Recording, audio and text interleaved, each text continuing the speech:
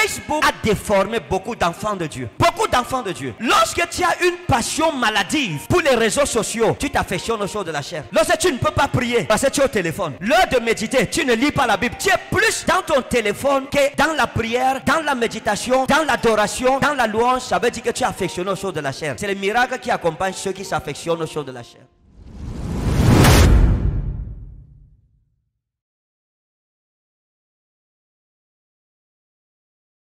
Parlons des réseaux sociaux et de la nudité. Voyez, vous vous imaginez que vous êtes un enfant de Dieu. L'homme spirituel, avant d'aller sur Facebook, dans sa page, regardez Facebook, il est d'abord rassasié de la présence de Dieu. C'est-à-dire qu'il a d'abord prié. Il se rassure qu'il a fait son devoir d'enfant de Dieu correctement. Son âme a mangé. Parce que tout ce que tu regardes, dans les réseaux sociaux influence ton esprit. Ça peut salir ton esprit. Ce que tu vois affecte ton âme et ton esprit. Ce que tu entends affecte ton âme et ton esprit. Donc Facebook a déformé beaucoup d'enfants de Dieu.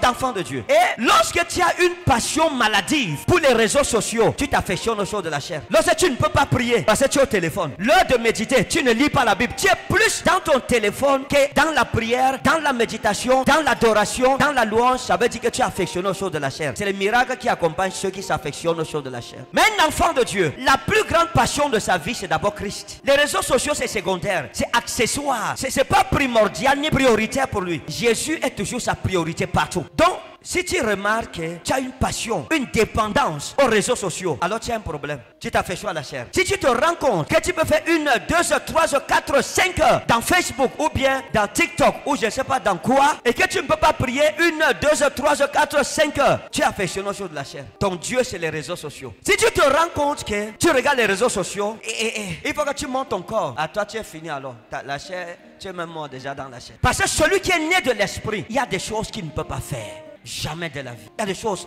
En fait, ça ne tape même pas son tympan. Ce n'est même pas possible. C'est comme si c'est inexistant. Mais si tu vois les choses dans les réseaux sociaux et tu veux devenir comme ces influenceurs ou ces influenceuses même que le diable est en train d'égorger de plus en plus, tu t'affectionnes choses de la chair en fait. Si le monde t'influence par son système, ça veut dire que tu es une personne charnelle. Les enfants de Dieu sont déçus de ces choses-là. C'est eux qui influencent le monde. C'est pas le monde qui les influence. Non. Ma façon de m'habiller, le monde ne m'impose pas mon style de vie. Le monde ne m'impose pas ma façon de m'habiller. Mais si ta façon de t'habiller ou de te comporter est influencée par le monde, alors tu t'affectionnes sur de la chair. Tu es en train de perdre la vie éternelle. On doit faire attention. Donc les réseaux sociaux, c'est quelque chose qu'il faut faire attention avec.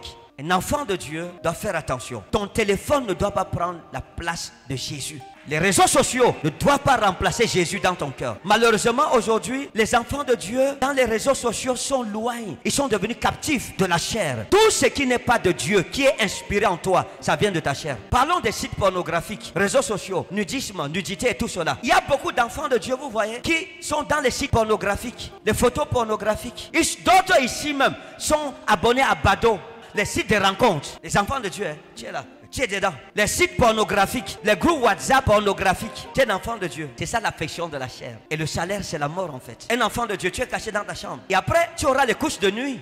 La nuit, tu vas rêver que les serpents couchent avec toi. Pourquoi? Parce que tu as ouvert une porte. C'est l'affection de la chair et son salaire, c'est la mort. La conséquence, c'est la mort. Y des enfants de Dieu qui sont devenus accros à la pornographie. Ils sont esclaves de la pornographie. Ils se masturbent avec la pornographie. Et tu commets double péché. Parce que chaque fois que tu regardes une vidéo pornographique et que tu couches, c'est-à-dire que tu, tu, imagines la personne sous toi, sur toi. Ça dépend. Tu es déjà fini. Tu as commis l'adultère. C'est pas différent de si tu étais dans la salle avec ces personnes-là. Donc beaucoup d'enfants de Dieu doivent comprendre cela. L'affection de la chair, c'est la mort. Donc si tu es dans cette salle, tu es captif de ta chair. Nous prions que Dieu te délivre aujourd'hui. Que Dieu te délivre de la chair. Que l'affection de l'esprit devienne ton partage et que tu expérimentes la puissance de Jésus-Christ. La gloire de Dieu ne se révèle pas où la chair est vivante. Non, ta chair doit être crucifiée avec Jésus sur la croix pour que ton esprit laisse place au Saint-Esprit pour amener la lumière de la présence de Dieu dans ta vie. Maintenant, vous imaginez, imagine-toi, tu es un enfant de Dieu et tu as abonné au site pornographique. Ton esprit est propre bien ton esprit sale?